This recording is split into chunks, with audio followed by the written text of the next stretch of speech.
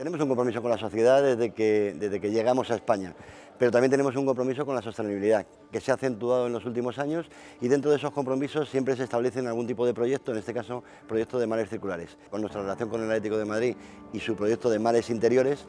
y la buena relación que, mantenemos con el Atlético de Madrid hace muchos años, pues bueno, se ha producido este entorno de común de, mares interiores y mares circulares con el objetivo de pues, seguir haciendo eh, actividades que, desarrollen pues esto, la concienciación, el análisis de situación de los diferentes espacios.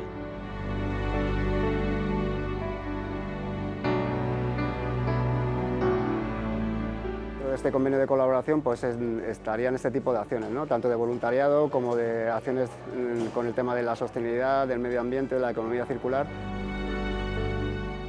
Para la Fundación es importante el acuerdo que hay con Coca-Cola porque para el medio ambiente es importantísimo. Como embajador del Atlético de Madrid estoy muy feliz de que Coca-Cola y la Fundación del Atlético de Madrid hayan llegado a un acuerdo para mejorar eh, el medio ambiente y que cada vez esté mucho mejor.